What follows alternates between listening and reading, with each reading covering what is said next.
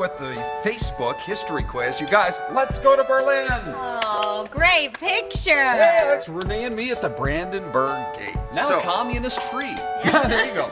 But it was on this day, glad you brought it up, in 1948, that the Soviet leader, Joseph Stalin, Look at it. Mm, boo Join is me. right. Boo. Right. Blocked every road going in and out of West Berlin and then shut off the electricity.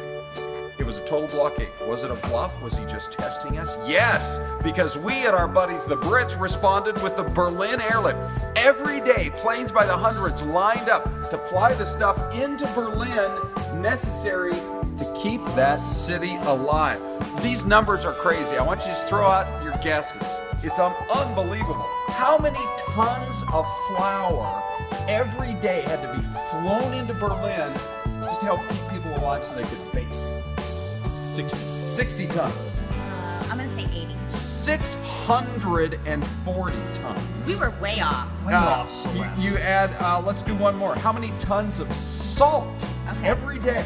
800. 8,000. Okay, now you're a little overboard. Dang it. 38.